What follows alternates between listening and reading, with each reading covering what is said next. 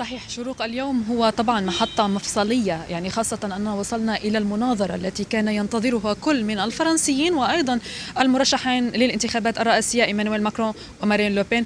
اليوم يعيد تعيد اللحظة نفسها منذ حوالي خمس سنوات قبل خمس سنوات كان هنالك مواجهة بين مارين لوبين وإيمانويل ماكرون في عام 2017 والتي تأهل فيها إيمانويل ماكرون ليصبح رئيسا للجمهورية. لكن اليوم المشهد مختلف. مارين لوبين تريد الانتقام من آه، ماكرون الذي آه، كان في الجولة أو الجولة السابقة منذ خمس سنوات استطاع بالفعل الانتقام منها واستطاع أيضا أن يري الفرنسيين أنها غير قادرة على فهم برنامجها وأنها غير ملمة حتى بتفاصيل برنامجها الانتخابي. اليوم تستعد آه، يعني مارين لوبين لهذه المواجهة والذي على حسب طبعا أنصارها أنها كانت تستعد لها منذ خمس سنوات. وبالتالي مارين لوبين اليوم لديها ملفات أعلم أيضا بما سترد على إيمانويل ماكرون والذي يعني الآن هو بموقف يعني يقول هنا الفرنسيين أنه بموقف أضعف من موقف عام 2017 لأن لديه حصاد آه، سياسي. خلال الخمس سنوات هنالك بعض السياسات التي رفضها هنا الشارع الفرنسي المجتمعية والتي يعتبرونها أنها سياسات